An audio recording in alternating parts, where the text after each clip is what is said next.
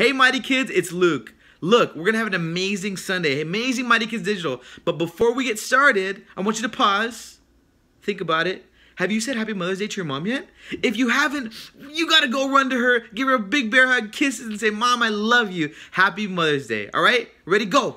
Good?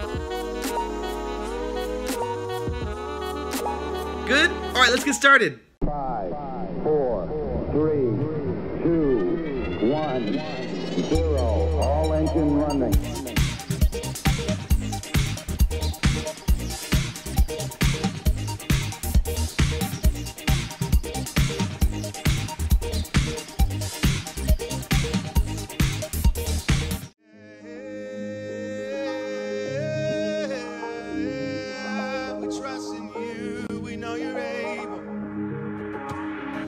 What my eyes can't see, I still believe.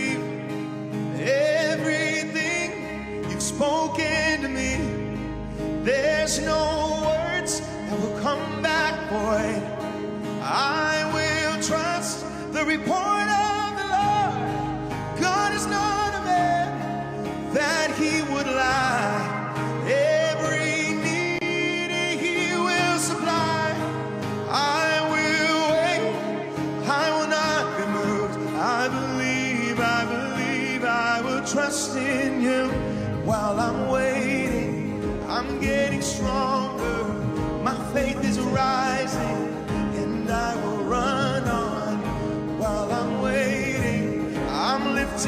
upon as eagles.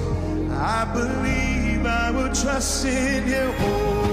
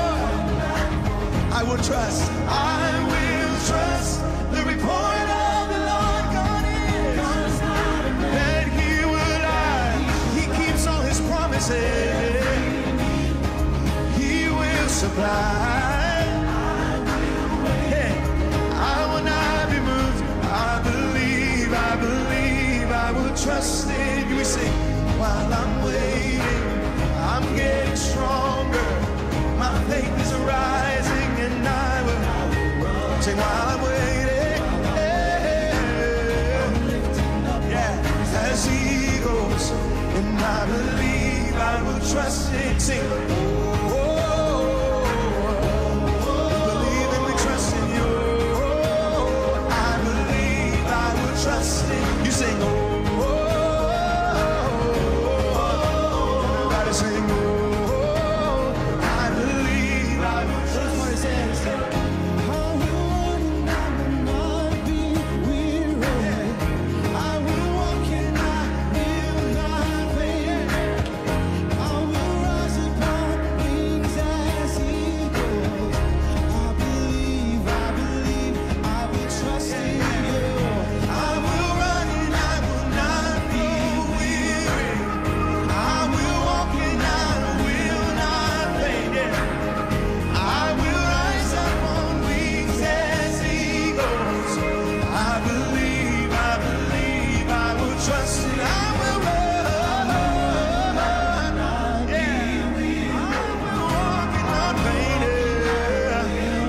I keep my trust on him.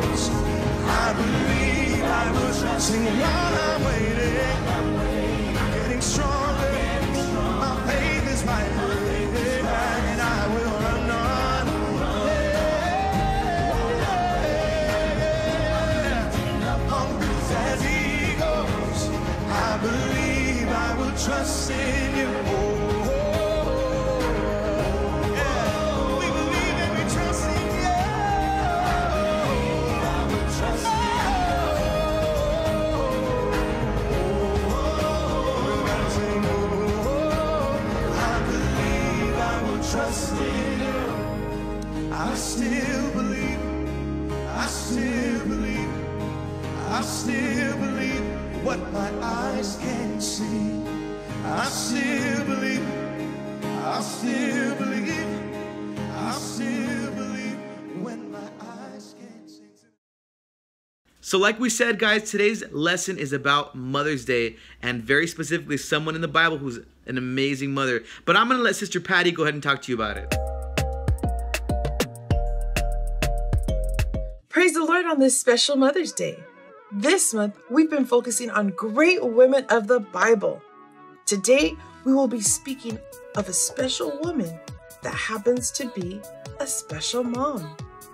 This woman's name is Jochebed. Can you say that? Hmm.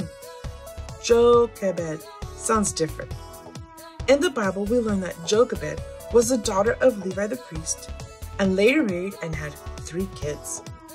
But the struggle in the biblical time was pretty scary. Let me share with you the story of Jochebed and her amazing faith in the Lord that saved a nation and carried out God's plan for all his followers like you and me. This story is found in Exodus 2 1 through 10. Come on. A long time ago, in a place of hot sandy deserts and high pyramids, was the land of Egypt. This land had a leader that they called Pharaoh. The Pharaoh was not a kind man. The Pharaoh was threatened by how the Hebrews had multiplied in numbers.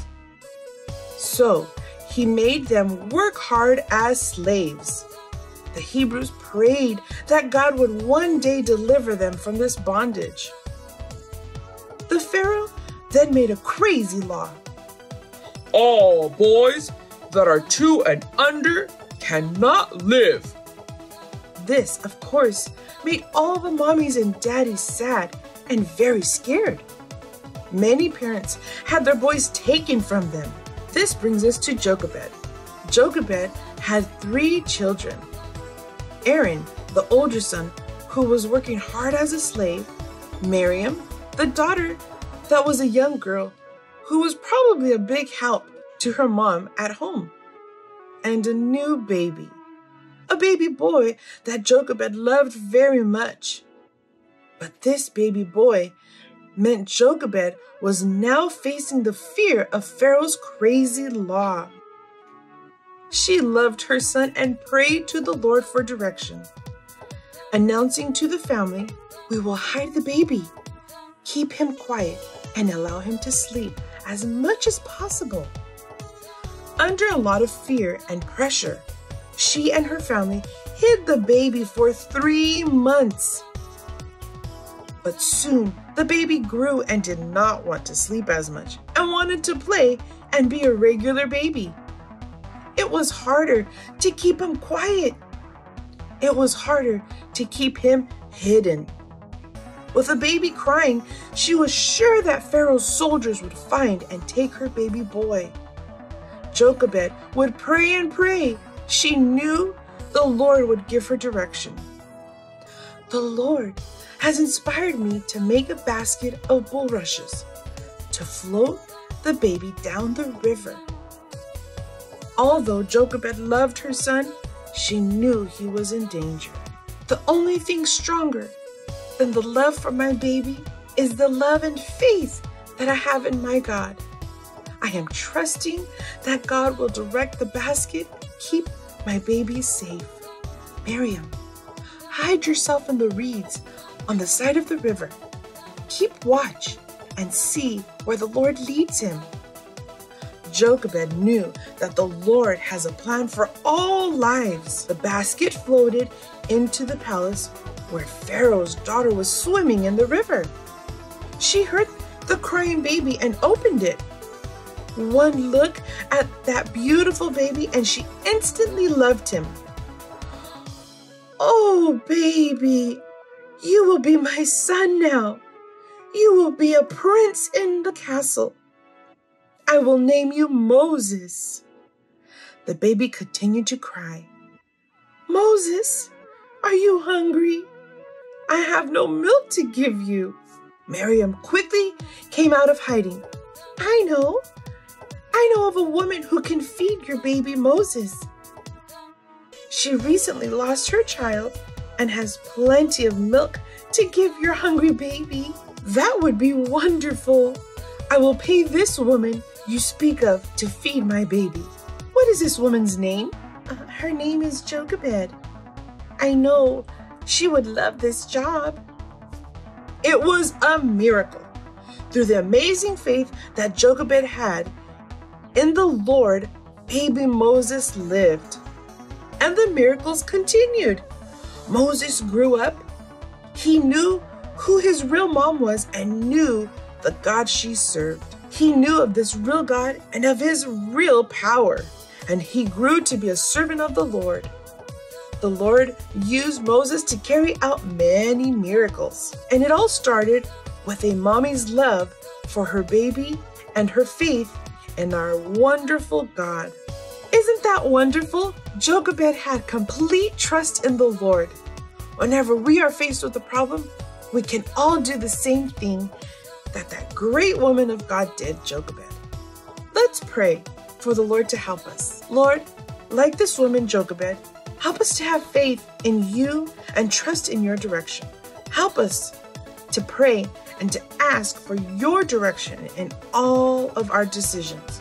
Help us to wait and be patient. We know that sometimes your answers come fast and sometimes your answers take some time. Open our ears and our minds and our hearts to hear your direction for our lives. We know that you speak to us in many different ways. Many times it comes through our Bible reading or a word from our pastor. And finally, Lord, when you do give direction, help us to obey. Help us to follow through with your direction, remembering that your ways are always better than ours and they're the right way. In Jesus' name we pray. Amen. Bye, kids. See you next time.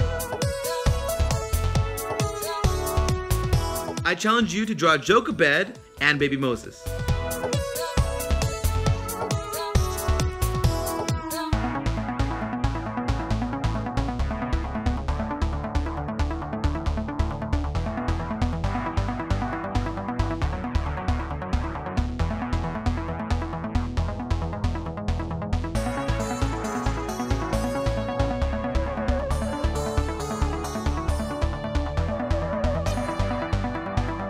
Bye, kids. See you next week.